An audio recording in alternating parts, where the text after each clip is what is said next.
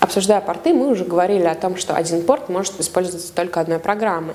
Если программа обращается к занятому порту, то пользователь, скорее всего, не сможет присоединиться к вашему сайту, а присоединиться, например, к чему-то другому, к админке вашего роутера, например. Главное помнить, что браузер не всемогущ и не может знать, какие порты занимает у вас какая программа, значит ему нужно это объяснить прямо в адресной строке. Для этого нужно указать полный путь к файлу, после чего поставить двоеточие и номер порта, к которому происходит присоединение. Например, путь к нашему файлу будет выглядеть следующим образом. teachvideo.dndns.tv slash файл двоеточие 8089. teachvideo.dndns.tv здесь имя нашего сервера. Файл – имя файла, а 8089 – номер порта, на котором висит наш файл-сервер.